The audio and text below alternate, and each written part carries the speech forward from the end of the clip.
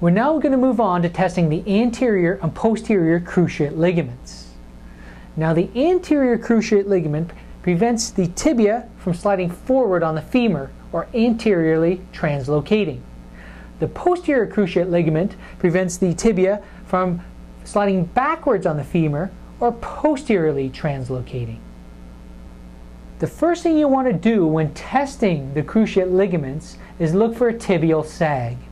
And that's when the tibia is shifted backwards. And this is an indication that the posterior cruciate ligament may in fact be damaged or ruptured. And this will give you a false positive test for the anterior cruciate ligament. Jen here has no tibial sag, so we'll start by testing the anterior cruciate ligament. And for this, we're going to start with the anterior drawer test and have Jen's leg in flexion at 90 degrees. I'm going to just lean on her foot here to stabilize. I'm going to put one, my left thumb on the tibia, my right thumb on the tibia here, and I'm going to pull forward to see if I can displace that tibia anteriorly off the femur. Now you always want to compare both sides because some people may be a little bit more lax than others. But here there's a great end feel and it's very solid. Now one of the problems with the anterior drawer test is I cannot account for Jen tightening up her hamstrings here and holding her tibia in place. So the other test we do for the anterior cruciate ligament is called the Lachman test. And in this test, we're going to move Jen's knee down into about 30 degrees.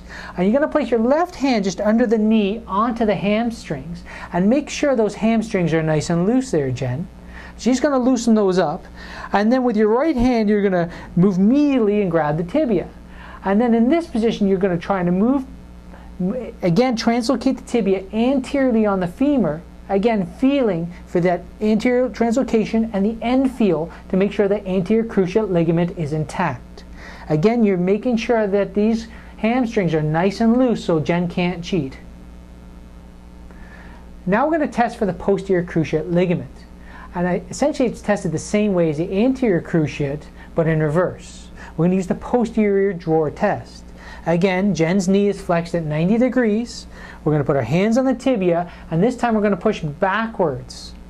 Feeling if we can translocate that tibia or push that tibia backwards off the femur. Again, we're feeling for the end feel, and we want to feel a nice solid end feel. Again, you want to compare both sides as other some people may have more laxity than others. We're now going to move on to testing the menisci in the knees, the lateral and medial meniscus. They're fibrocartilaginous rings that act as shock absorbers in the knee. If a meniscus becomes torn, it can cause pain, swelling, or locking of the knee. We're going to start by testing Jen's lateral meniscus. So to do that, we're going to start by cupping the heel. We're going to cup the heel like this and externally rotate the tibia. Then we're going to put a valgus stress on the lateral aspect of the knee here. And we're going to bring her leg up into full flexion and then down into full extension. Around full flexion, full extension. And what we're feeling for is a popping sensation or popping sound over that lateral compartment. Now to test a medial meniscus, we're going to internally rotate the tibia and we're going to put a varus stress on the medial aspect of the knee and we're going to bring the knee up into full flexion and then down into full extension. Up into full flexion and down into full extension. Again, you're feeling for that popping sensation over the medial aspect of the knee. There's a couple of take-home points about the meniscal tears you want to know. First of all, the medial meniscus is, off, is much more commonly injured than the lateral meniscus and can be associated with a terrible triad of anterior cruciate ligament rupture, medial meniscus tear, and a medial collateral ligament rupture.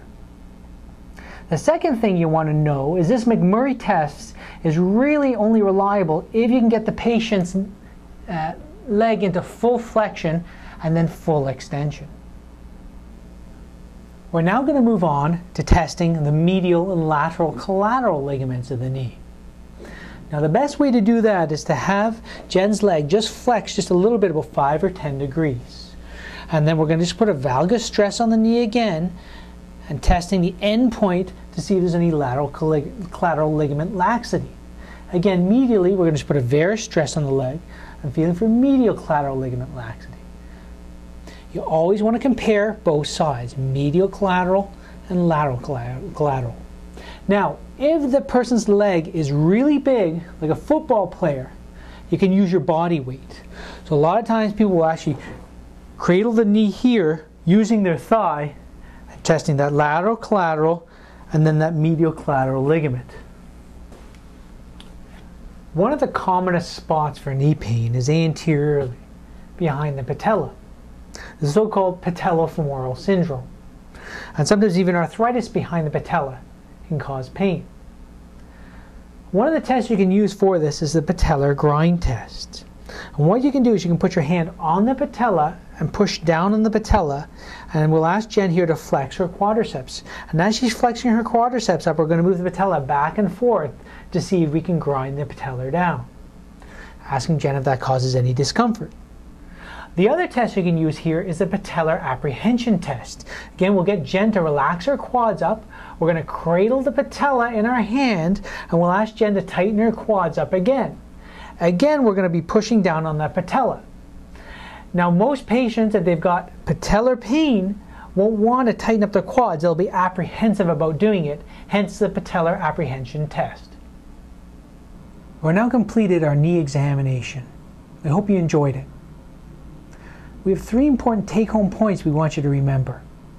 Number one, this video isn't meant to be completely comprehensive. It's not the end-all and be-all of the knee exam. There's many other tests you can use for examining the knee. You can find these in many physical examination textbooks. Number two, it's important to determine the exact location of pain when someone's complaining of knee pain. Often it's not the knee joint itself, but one of the structures around the knee, such as the anserine bursa. And finally, number three, don't ever forget to test the neurovascular status of the extremity uh, that's affected. And don't forget to examine the joint above and below. And in the case of the knee, that's the ankle, hip, low back. I'm Dr. Andy Thompson, Assistant Professor of Medicine at the University of Western Ontario. Thank you.